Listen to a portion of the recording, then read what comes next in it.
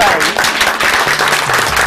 All right, back on the Hampton Roads Show, our live studio audience today is from the Khedive Shrine Center in Norfolk, and this weekend is their professional championship rodeo. It's a major fundraiser for a great cause. Here to tell us more is radio chairman Randy Murphy. I'm going to have to slide over you, Joe, pardon me. Supposed to be me. Joe. All right, supposed to be me. Joe, take it away. Tell me about the Could you tell he wasn't prepared? well, the way he tried to pull, put the mic out the uh, door of the station, yes, I could tell. yeah, it's uh, the rodeo is a SRA sanctioned rodeo. It's a full-fledged rodeo. There's going to be bronco busting, uh, bareback riding, barrel racing.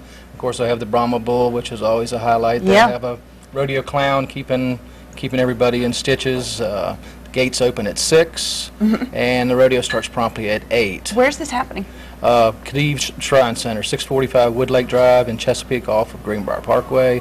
Uh, we've got lots of stuff to do for the kids. We've got pony rides, we've got inflatables, we've got plenty of food. So if you come on out at 6, you can get, get your belly full and watch a nice show.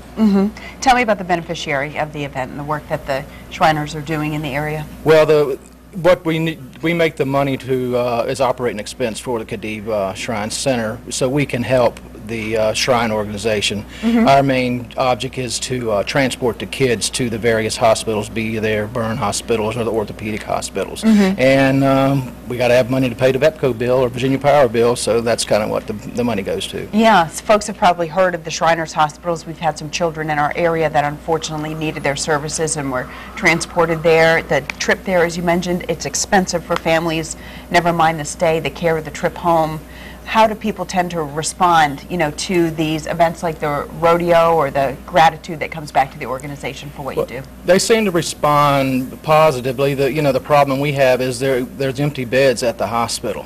And the hospital provides these services at no cost to the, to the family. And then we transport them back and forth and, you know, the- we- I think we transport one child and the, uh, an adult. And, um, all you need to do is come and apply and see if we can, if you accept it. If you've got, if you've got something we feel we can help you Yeah. with, then, uh, we'll will. set the ball rolling. It's important because, because even after the initial trauma, some of these children are recovering from burns and they're growing. Their grafts have to be done more than once sometimes, so they're making more than one trip out to the hospital. So what a difference that you're making for those families to have them not have to worry about how they're going to get their children back and forth for that treatment.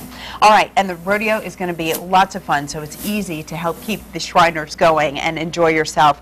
Don't forget, uh, the temple, the center is at 645 Woodlake Drive in Chesapeake. The rodeo is Friday, June 15th and Saturday, June 16th. The gates open at 6 o'clock. The show starts at 8 o'clock, so between 6 and 8 is when you need to be sampling the food and you taking go. your kids to have a pony ride and jump around. Uh, the tickets are $15. Kids between 5 and 12, just 10 bucks. Kids 4 and under, absolutely free. So you can... add one thing, the, as a two dollar discount for the military. Anybody with a military ID gets two dollars off. All right, wonderful support there. If you want more information, you can visit khediveshrine.org or you can call 420-4510. Thanks for, very much for coming back. Thanks for stepping up to the microphone. I don't know about you, Randy.